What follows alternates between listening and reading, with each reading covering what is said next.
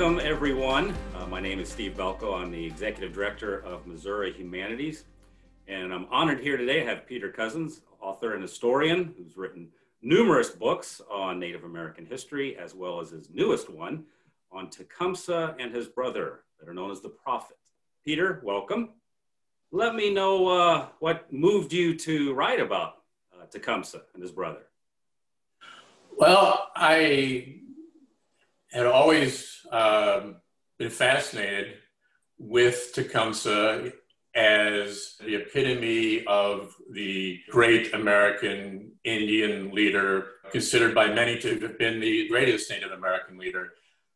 But I found that prior works on Tecumseh tended to neglect his brother, Tenskwatawa, better known as the Shawnee Prophet, at least to whites.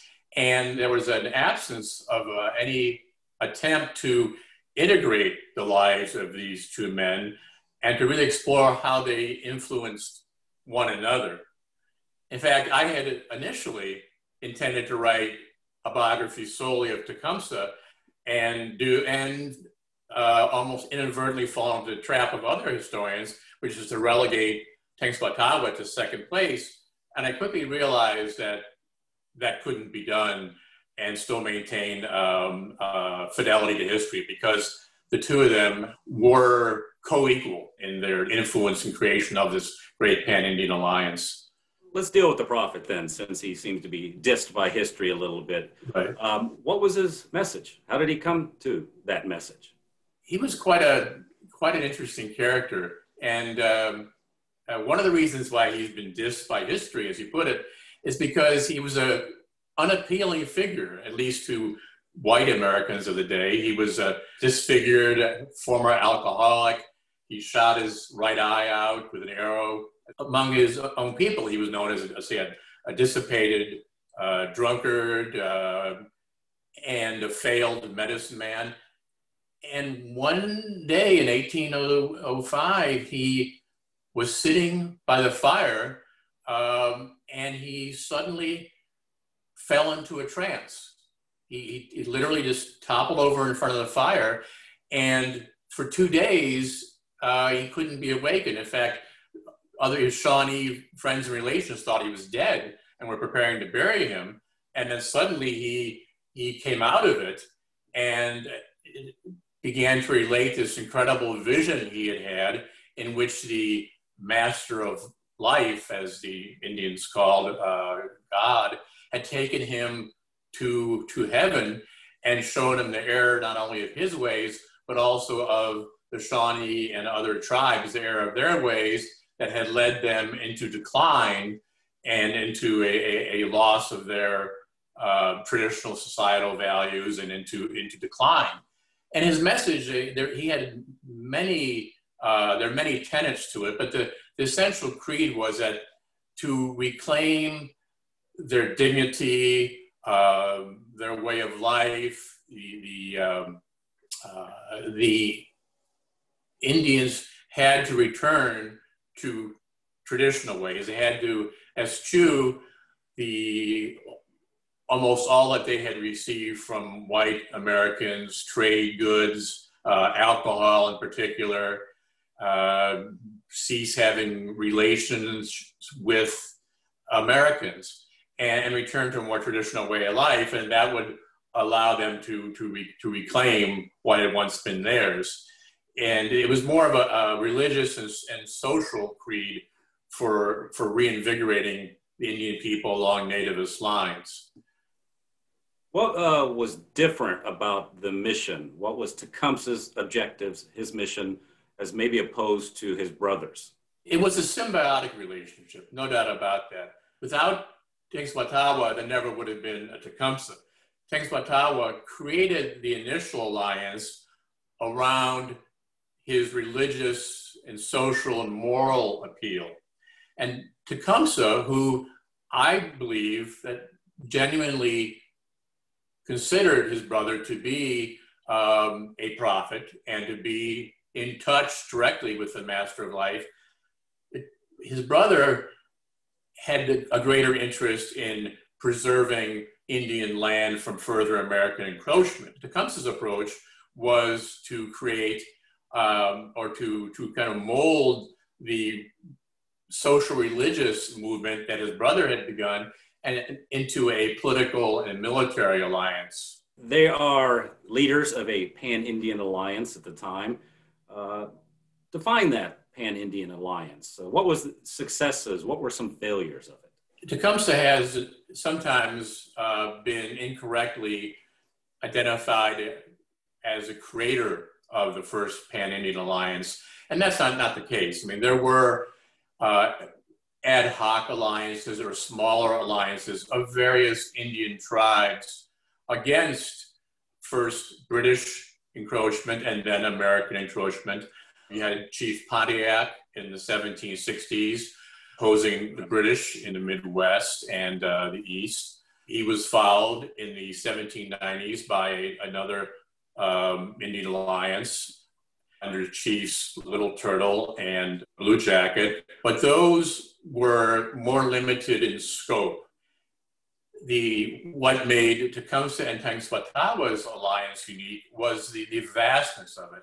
Uh, their their alliance of, of disparate tribes stretched from uh, the upper reaches of the Mississippi River all the way down nearly to the Gulf Coast of Mexico. It literally encompassed almost half the United States. So they were able to draw on a much broader number of Indian tribes than had uh, leaders of previous Indian alliances. And to put it in perspective, you know, most people, when they think of a, an Indian alliance, you, you, you, kind of default to Sitting Bull and Crazy Horse and Little Bighorn, which was certainly the apex of Indian resistance in the West. But Tecumseh and Tenskwatawa at the peak of their alliance actually had more than twice the number of warriors. It was the scope of it, the size of it, the, the breadth of the number of tribes that they were able to draw into their alliance that made that, them unique. And also the timing. It was it coincided with the War of 1812. It was really the last great Indian effort to stop the Western American Republic how did they fail? What, what obstacles led to the failure? You know, they failed not on account of themselves, but on account of the British, their British allies.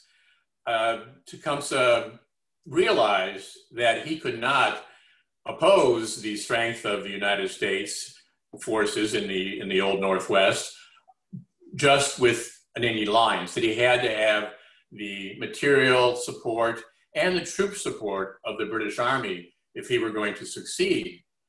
And um, so initially, uh, Tecumseh and the British did quite well. They captured Detroit in 1812.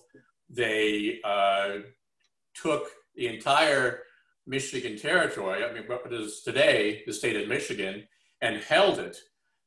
And the British, of course, were limited in how many forces they could send to the United States because they were fighting Napoleon.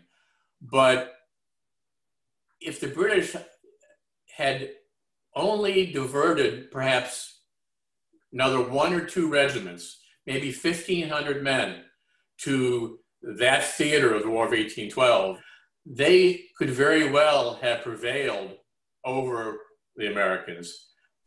What obstacles did the brothers face among their own people, Native American?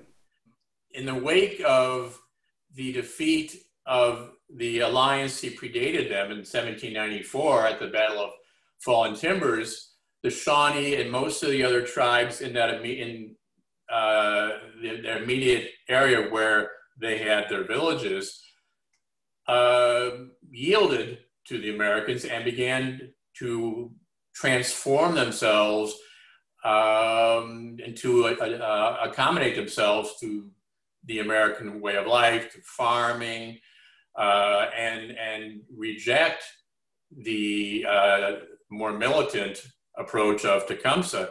They actually drew most of their support from tribes that had not felt or not been uh, defeated directly by the Americans. So they had they had a, a, a rather fraught relation with their own people. They they drew very relatively few Shawnee, for instance, into their movement, um, which part, partly because the Shawnee knew Tenskwatawa best as a alcoholic, a drunkard, a drunkard a dissipated uh, non-entity, and they had a difficult time accepting him as a prophet. We know uh, Tecumseh made a southern uh, trip, campaign, if you will, to rally the southeastern tribes, Choctaw, Chickasaw, Creek, Cherokee. Uh, he failed at that. What, what was the source of that failure? Right. Uh, Tecumseh traveled uh, in 1811 to visit uh, what were called, uh, have been called the civilized tribes, Choctaw, Chickasaw, Cherokee, and Creek, who essentially uh, controlled almost all of present day Mississippi, Alabama, Western Georgia, uh, Southeastern Tennessee. And he, he ultimately, he, he hoped to draw them into his alliance and create a, a, a movement of all the tribes east of the Mississippi River, not merely those north of the Ohio River, as considerable a number as those were. He failed uh, principally because the, with the exception of one element of the Creek tribe, the Indians of the South had moved quite far down the road toward accommodation. Um, the, the tribes of the South were slaveholding tribes. They held black slaves. They uh, had plantations that were often indistinguishable from those of their, their white neighbors and uh, they had not um, not really suffered yet from uh, American, from any American attempts to push too deeply into their into their lands. So, so with the exception of the Creeks, who were already bifurcating into a, a more militant element that that uh, I guess saw the handwriting on the wall and recognized that they were losing, they're in danger of losing their way of life and their land to the Americans and an element of the tribe that had already accommodated to the Americans, the, the remainder of the southern tribes uh, rejected Tecumseh's appeal.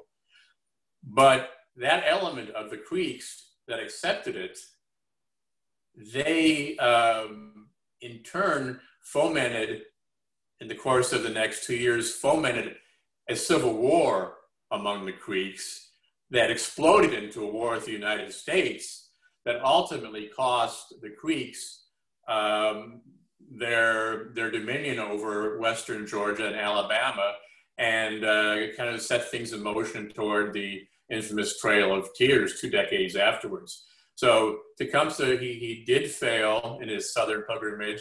Not only did he fail in achieving his own ends of, of broadening even further his alliance, but indirectly doomed the Creek Indians and the other Indian tribes of the South. So it was uh, it was uh, a pretty tragic failure. What do you think are some of the life experiences uh, that you deem most influential to Tecumseh? They, as boys, they were compelled to. They were uprooted from their villages uh, four times by attacks from uh, Kentucky militia and brutal, violent attacks that, uh, that essentially destroyed their hometowns and forced them to move. Uh, that obviously, that obviously was a tra- traumatic, uh, were traumatic moments for both of them, uh, having to continually move, retreat deeper into, into their home country. The Shawnees, as a tribe, began to break up because of this, and more than half of the Shawnees just literally picked up, left modern day Ohio, and moved west into Mississippi. And so they, they not only were they forced to, to move several times because they had been attacked, their villages had been attacked, but they also saw their, their, their people crumbling. And, and they were a small tribe, just over 2,000 people to begin with. And as part of that, and what I find uh, it, could not have been anything but traumatic was that among those Shawnee who decided to migrate west was their mother. And this was when they were both, again, when Tenskwatawa, I, I can't recall his exact age then, but I think maybe was seven or eight years old, and Tecumseh was was a young adolescent. She she literally picked up and let moved west to Mississippi with those Shawnees who quit the area, and uh, dumped her sons on her eldest daughter, who was just married and who helped raise them. And I think those two factors could not um, have been other than traumatic for both of them. Despite that, neither developed a visceral hatred for white Americans. Uh, another very traumatic thing for both of them was the influence of alcohol, of liquor, on Indian society. I mean, the, the, the Native American villages in the, in the, in the Midwest were awash in, in liquor, and that uh, was the cause of Tenskwatawa's personal personal decline as a young man, but it also uh, was instrumental in the in the gradual unraveling of their societies. So I think that, again the, the, the attacks that they, that they uh, sustained in their youth and the this, the uh, departure of their mother and the the, the ubiquitousness of of, uh, of liquor and its debilitating, demoralizing effects in their in their societies. All those played played a role um, in, in, shaping their in their characters.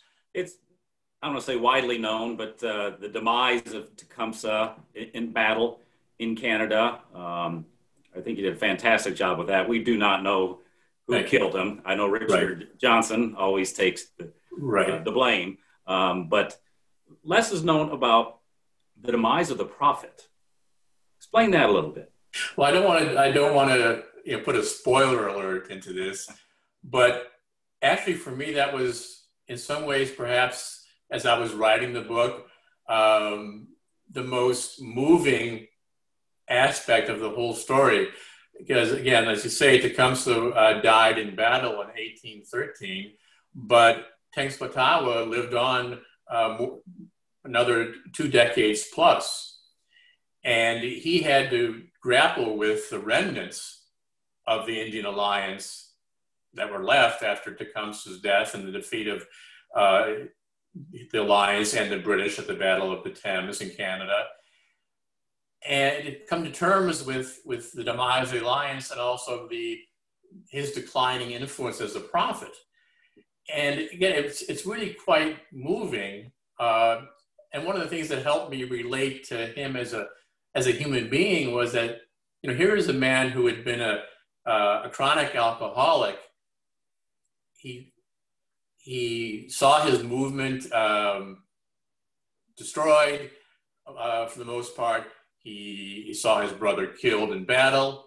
Yet Tenskwatawa did not not only did not himself revert to his dissipated way of life uh, previous, previously, but he also, to an extent, was able to to overcome the tragedy and um, albeit with a much smaller following, he was able to come to terms with um, the changing fortunes and the declining fortunes of the Indians in the Midwest, and to an extent ad- adapt to the new way of life. And he, uh, again, not to spoil the story, but he he eventually settled in um, in just outside of what is today modern day Kansas City, Kansas. So he, uh, his life again went on for another two decades, and um, it was very poignant to see to see his his gradual the gradual decline uh, of his influence, yet his ability to maintain his personal integrity uh, throughout. So he did not, you know, die gloriously a hero in battle as Tecumseh did. He had to cope with uh, two decades of life in which uh, his people had no chance of, of, of, regaining their, their near glory during the days of his alliance with Tecumseh. You had to select uh, one nemesis of Tecumseh. Who would that nemesis be and why? Oh, yeah, that's easy. William Henry Harrison, the future president of the United States who rode to victory on what he claimed to have been a victory over Indian forces led by Tenskwatawa at the Battle of Tippecanoe in 1811, which I argue in the book was strategically a defeat for the Americans and was a manufactured victory uh, by Harrison. He did a very good job of propagandizing on his own behalf. But it was Harrison who, as the governor of the Indiana Territory and the uh, supervisor of Indian affairs for, again, for most of what is today the present day Midwest, he was charged with putting into execution Thomas Jefferson's policy, which essentially was twofold. It was to, quote, civilize, unquote, the Indian tribes, convert them into farmers, convince them to not only to abandon the uh, hunt and that way of life, but also to be to become so in, indebted to uh, American merchants as they became farmers, became acculturated, that they would be compelled to trade land, sell land to be able to maintain a, a, a decent standard of living. Uh, and it became incumbent upon Harrison to implement this, this strategy. So he very aggressively, between 1803 and 1809, just bought up Indian land throughout the Midwest, more often than not through very shady dealings, uh, and was ultimately his refusal to abide by the terms of a treaty negotiated um, uh, in 1805 and a push that he made to incorporate even more Indian land in 1809 that led Tecumseh and Tenskwatawa to become fully militant, for lack of a better word, in their opposition to to uh, to American encroachment. They had Tecumseh had laid down a, a, line in the sand that if the Americans pushed beyond a certain point uh, in what is today uh, Indiana and northern Ohio, then he would be forced to to oppose the Americans uh, militarily. And uh, even though there was no need at the time for Harrison to negotiate that one last treaty uh, to boost his own kind of precarious political fortunes, he negotiated this treaty uh, in a rather nefarious way, and that led ultimately to to uh, the Battle of Tippecanoe and, and open conflict with the Indians. So William Henry Harrison was definitely the definitely their nemesis. On the flip side, who might have been Tecumseh's uh, greatest influence on him? Tenskwatawa himself, uh, later in life, in interviews with um, uh, the governor of Michigan Territory, this is again late, later in life after Tecumseh's death, he uh, acknowledged his own debt to Chief Pontiac, who opposed the British attempts to reduce assistance to the Indians and to uh, renege on treaty promises. It w- and the alliance that Pontiac created was based partly on religious and social tenets of a Delaware prophet named Neolin. And uh, so the combined influence of Neolin and Pontiac and the near success they had in expelling the British from what is today the Midwest served as a model for Tenskwatawa and Tecumseh. Uh, there was only, um, you know, a, a, generation removed from Pontiac and Tenskwatawa and Tecumseh, and, and, the stories of their of, of, of his, his, glories certainly uh, were told to the youthful Tenskwatawa and Tecumseh. So Pontiac and the Delaware prophet Neolin were clearly direct and important influences on on both of them. The book, uh, the research, and um, your, your, study of, of the brothers, has it, uh, I guess, influenced you to take another step and do some more Native American histories? As a matter of fact, yes, I'm uh, well underway in writing a book. Uh, the tentative title which is Red Sticks and Old Hickory the Creeks, Andrew Jackson, and America's Most Brutal Indian War. So I'm I'm following on the, the, the heels of Tecumseh the Prophet and uh, essentially writing about what transpired south of the Ohio River during that era that culminated in, in the Creek War, the ascendance uh, of Andrew Jackson on the national scene, and the eventual uh, Trail of Tears of the, the civilized tribe. Fantastic book. I've enjoyed it. Hopefully, maybe we can do this again. Maybe we can do it in person. Yeah, I certainly hope so.